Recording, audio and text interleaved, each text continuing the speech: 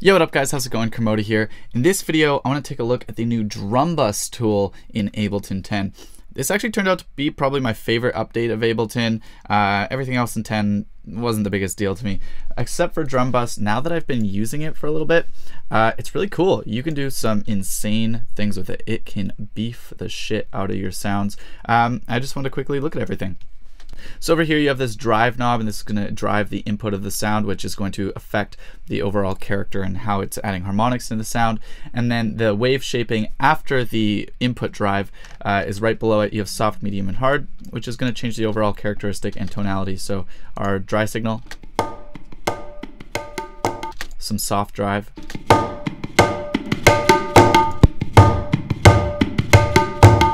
even the medium and hard one there doesn't sound over the top. You have this trim so you can compensate the gain after you just added a bunch of gain.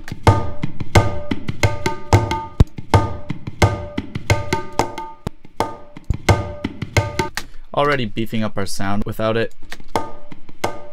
Thin with it. You have this compressor here which allows you to compress the sound before the input signal, uh, which is kind of nice and allows you to not hit the distortion with these like big peaks out of nowhere. It has some makeup involved though, so I personally don't really like it. Um, I would rather just compress it myself with a compressor beforehand. Uh, you have this crunch knob, which is going to add distortion. One problem with the crunch knob though is it has, we clearly lost some highs there, and that's because of the dampening underneath here.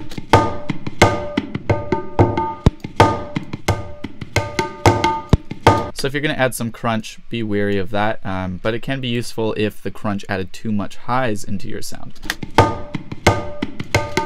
You also have this transient knob here, which is really cool, where if you set it to the right, it kind of almost de-emphasizes the transients by turning up the body of the sound.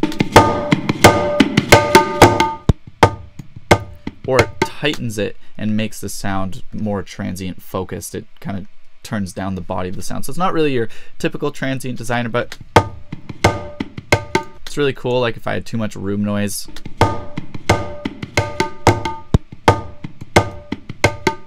and I want to tighten up my loop, already like sounds fucking phenomenal. Again, this added two decibels of gain, so we'll, we'll, compensate after to make it the same, but absolutely love it. Now this boom knob is really cool. Um, I don't want to use it on like a tabla loop like this, but what it does is it essentially allows you to synthesize a note into your sound. So for example, right now it's tuned to a G, 49 hertz, um, and you notice if you're actually kind of off of a note a little bit, if you click it, it tunes it perfectly. So we're at a low E, we add a boom, it's going to add that sub into the sound.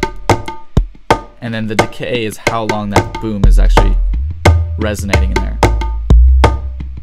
So for those of you in headphones, it might be easier to hear it if it's 90. Tighten the decay.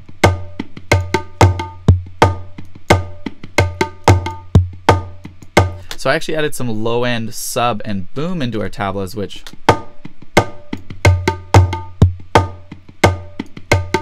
you know what? It even worked with our tabla. Click that, tune it so it's right on point. You can hit the little headphone button to hear what you're doing. That's what we're adding in. makes the sound just more even, more rich. Love it. And you got your output gain. So I'm to bring it down to minus 2 because that's what we were peaking at approximately without this. Let's try that again. So we're peaking at minus 2.3. I'm to bring this down to minus 2.3. So this is our new tabla loop.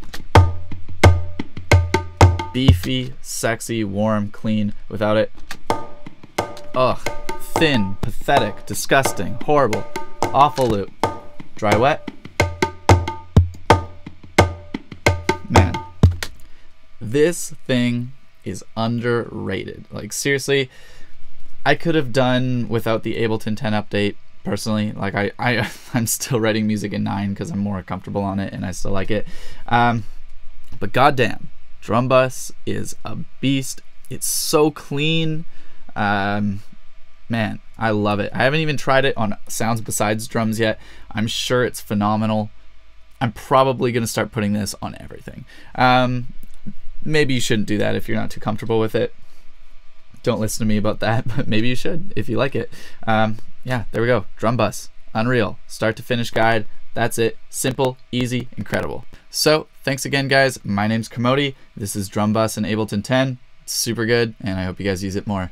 Thanks again, guys. Peace.